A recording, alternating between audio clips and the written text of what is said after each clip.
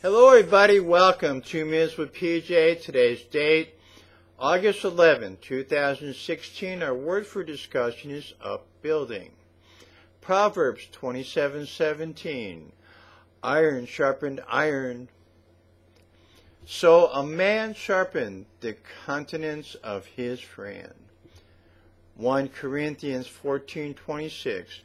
How is it then, brethren? When you come together, every one of you has a psalm, hath a doctrine, has a tongue, has a revelation, and has an interpretation. Let all things be done unto edifying.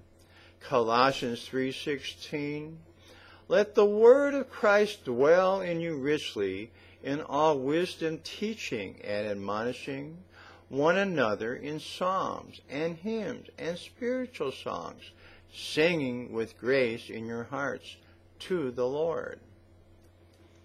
Ephesians 4:29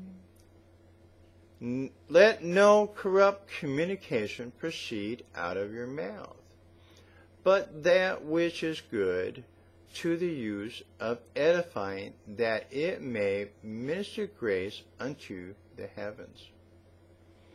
Hebrews 3:13 But exhort one another daily while it is called today lest any of you be hardened through the deceitfulness of sin.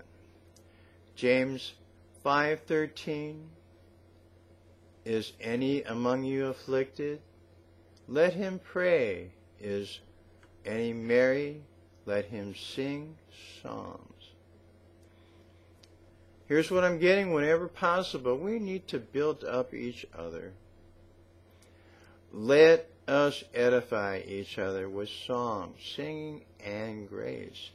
Instead of tearing down someone with communication, we need to build them up. Barnabas was one that edified and built up others during his ministries. Another way of building up or edifying is through prayer. Sing hymns, spiritual songs, singing with grace in the hearts of the Lord. I want you to think about this today. Have a blessed day.